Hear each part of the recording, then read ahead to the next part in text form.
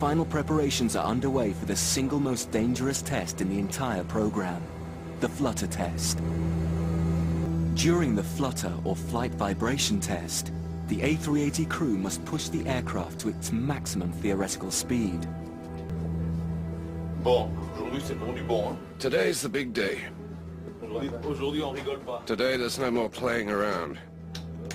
It's one of those flights that you complete one time in the entire life of the airplane. And you're much happier when it's over. The flutter test is the only test where the flight crew must wear parachutes, helmets and orange jumpsuits to aid identification should the worst happen. It's a very risky flight because we are truly pushing the flight envelope.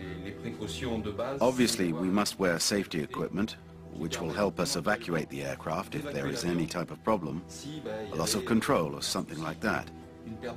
But it's more to reassure us and to reassure the authorities because if there is a real loss of control, I don't think we'll be able to evacuate the aircraft. To achieve certification, the A380 must reach just below Mach 1, the speed of sound, without experiencing abnormally strong vibrations. The only way to achieve this speed is to climb to 38,000 feet, then descend as rapidly as possible. It will take them several attempts, as increment by increment, they edge ever closer to a speed just below the infamous sound barrier. Ready? Ready?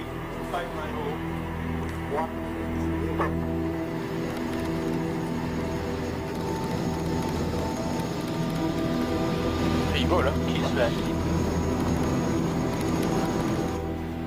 As the aircraft reaches its first major speed outside the flight envelope, Mach 0.89, the cockpit begins to shudder, but the flight crew know that this kind of vibration is normal. The A380 has survived its first extreme test. Now the flight crew and engineers feel safe to push on towards the more dangerous speeds.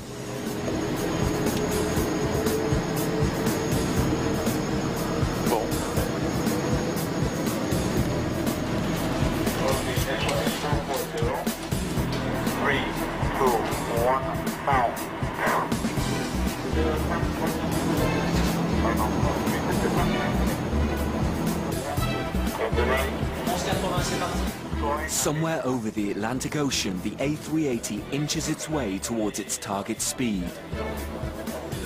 Mach 0.92, Mach 0.93. But suddenly they hear a noise. Chief Test Pilot Jacques Rosay has felt a twitch. After a quick consultation between the air and the ground, the flight crew decide to immediately halt the test.